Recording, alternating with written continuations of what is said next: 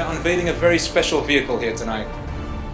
for the first ever official customer launch in the Middle East region.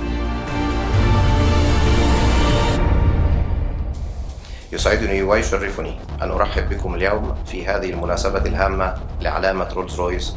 حيث نرفع الستار عن سيارة رولز رويس جوست الجيل الثاني بحلتها الجديدة لأول مرة في الشرق الأوسط